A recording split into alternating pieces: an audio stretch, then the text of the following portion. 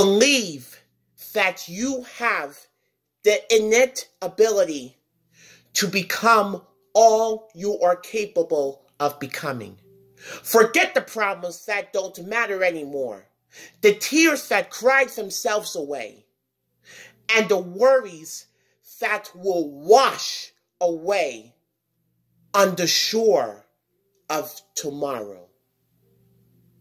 Determine your own worth by yourself and do not be dependent on another's judgment of you. Teach love to those who hate.